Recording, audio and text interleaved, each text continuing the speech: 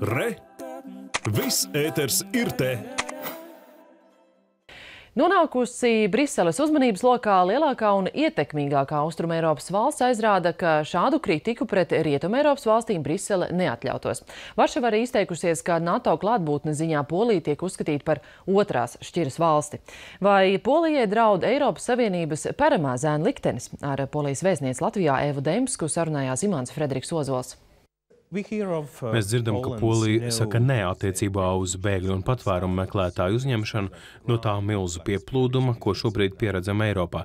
Kāda ir patiesā Polijas nostāja šajā jautājumā? Oh, uh, Paldies, ka sākat ar šo jautājumu. Tas no diena ir būtisks. Nav šaubu, ka migrācija ir viens no lielākajiem izaicinājumiem Eiropas Savienībai un Schengenes zonai.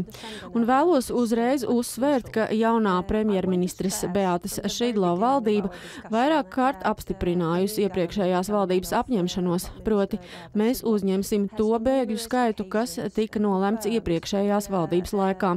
Jaunā premjerministra to paziņoja paziņojusi arī Eiropas padomas sēdē decembrī. Mēs to nepārtrauksim. Polija ir pilnvērtīga Eiropas Savienības dalība valsts un ievēro savu lēmumu pēctecību. Tajā pašā laikā mēs redzam, ka ir nepieciešamība pēc padziļinātas diskusijas par to, kā labāk kontrolēt Eiropas Savienības un Schengenas zonas ārējās robežas. Un Polija ir dalība valsts ar vienu no lielākajām ārējām robežām, kas stiepjas 1100 km garumā. Mēs darām darām, ko varam, lai sargātu savas robežas. Un šajā laikā mūsu amatpersonas atrodas Grieķijā un Itālijā īstenojot procedūras, kas ļautu atlasīt tos, kas arī paši vēlētos doties uz Poliju. Gluži tāpat arī jūs meklēsiet tos, kuri vēlas doties uz Latviju. Un domāju, ka jau janvāra beigās vai februāra sākumā pirmā aptuveni simt cilvēku liela grupa ieradīsies Polijā. Kas notiks ar Eiropas Savienību, ja tādas valstis kā Latvija, Polija, varbūt Višagrads grupa vairs nesakos Briseles, Berlīnas un Parīzes vadlīnijām? Ko gan es varu teikt par Eiropas Savienību? Tas ir miera projekts un viens no lielākajiem 20. gadsimta sasniegumiem, un domāju, ka gan Latvija, gan Polija ir visai apmierinātas būdams tās dalību valstis. Tātad te nav runas par Briseles lēmumu apšaubīšanu, bet gan aicinājums uz diskusiju.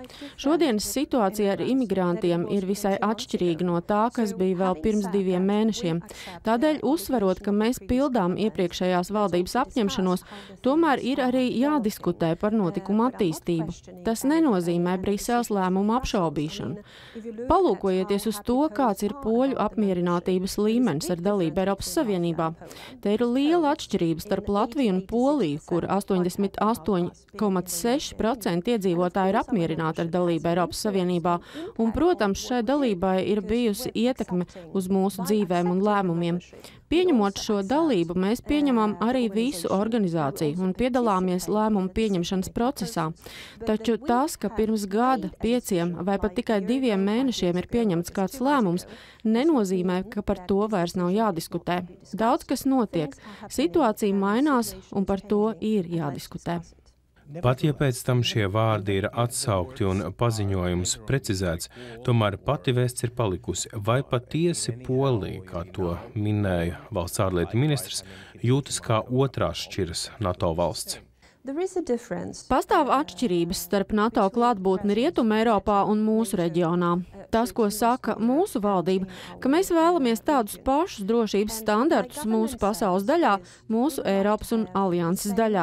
Un mums to nevajag nekam citam kā vien atturēšanai. Tādēļ laikā līdz NATO samitam mums būtu jārunā par to, kā uzlabot atturēšanas spējas šeit, ko varam darīt, lai mūsu nācijas justos drošāk.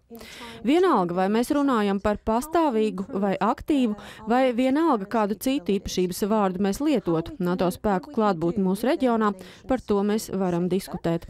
Kā šo pieaugušo kritiku, kaut arī piesardzīgu kritiku par varas koncentrāciju Polijā, kas pēdējā laikā vērojama, te ir runa gan par turpmāko konstitucionālās tiesas darbu, gan arī sabiedrisko raidorganizāciju valdes locekļu apstiprināšanas kārtību.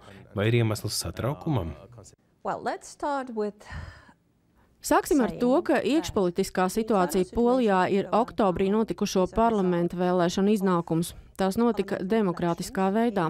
Neviens neapšāba vēlēšanu iznākumu. Likums un taisnība uzvarēja pēc priekšvēlēšanu kampaņas, kurā viņi stāstīja par paveicamajām reformām, un to viņi arī dara. Viņi saņēmuši sabiedrības mandātu vēlēšanu procesā, un tagad tiek īstenotas dažas no pārmaiņām, kuras viņi iepriekš pieteica. Domāju, ka kritika, kas nāk no ārvalstīm, jo īpaši rietumvalstu medijiem, ir ļoti nesaudzīga. Un nedomāju, ka tas tā būtu citu Eiropas Savienības valstu gadījumā tās rietumu daļā. Un es nerunāju par kritiku no citu valstu valdībām. Ir atšķirības starp mediju kritiku un valdību kritiku.